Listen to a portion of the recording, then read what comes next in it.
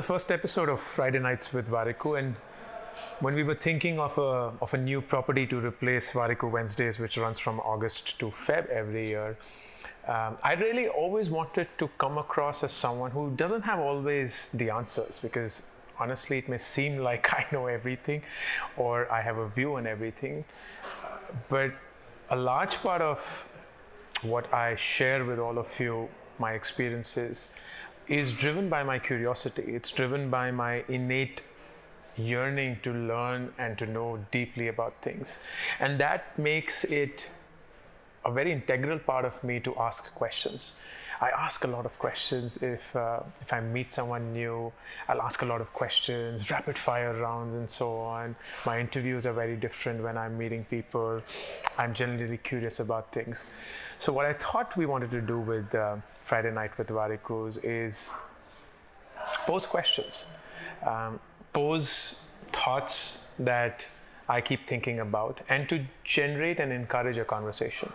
Uh, these are not questions that I have answers to. These are questions I may have a view on, but I would love to have a conversation. And I, we made it Friday night because it's it's almost reflective. It's contemplative. It's targeted at people who are not partying or drinking on a Friday night or who don't have plans and are perhaps just in the same frame of mind.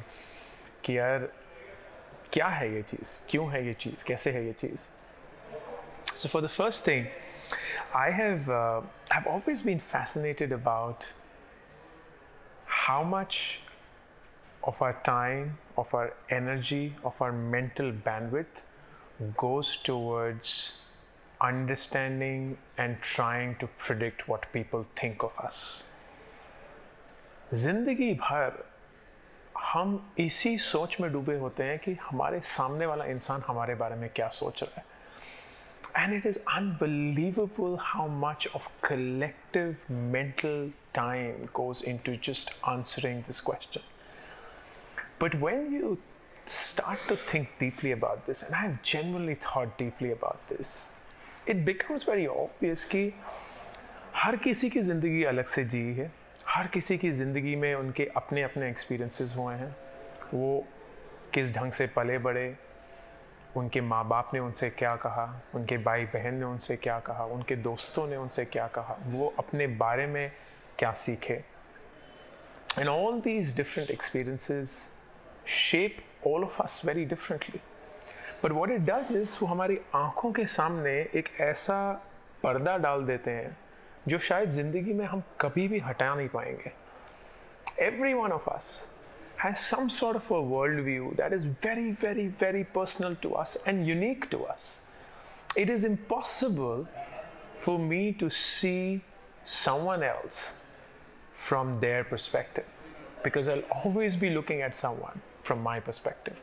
मैं हर एक इंसान को सिर्फ अपने तराजू पे ही तोड़ रहा हूँगा and I will give someone the impression that, hey, I understand where you're coming from. Yeah, yeah, yeah, I get it, what you're trying to say. But the reality is, no one truly understands someone else's feeling, someone else's emotion. So that is a dichotomy. पूरी दुनिया इस जज्दोजहद में लगी हुई है कि मेरे सामने वाला इंसान मेरे बारे में क्या सोचता है and I want that person to start thinking highly of me, the right way, and so on and so forth. But it's a practicality that no one in this world, no one in this world, including the ones who are closest to you, can ever look at you and understand you the way you truly are. Because they're looking at you through their eyes, through their experiences, through their worldview, through their biases, through whatever they understand of the world, of who you are, of how you behave with them, and vice versa. And that then begs the question, what is this all about? I ask this a lot of times कि हम फिर किस चीज़ के लिए जी रहे हैं? हम अपने लिए जी रहे हैं? हम किसी और के लिए जी रहे हैं? हम किसी और के व्यू के लिए जी रहे हैं? हम किसी और की सराहना के लिए जी रहे हैं?